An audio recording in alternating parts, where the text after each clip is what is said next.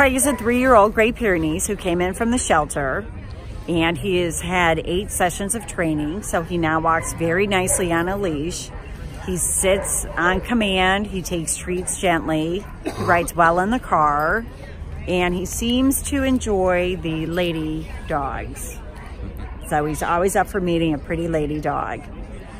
And that's that's about all we know right now. He's young and energetic, so he would do great with someone who enjoys going for long walks, hikes, trips to the beach.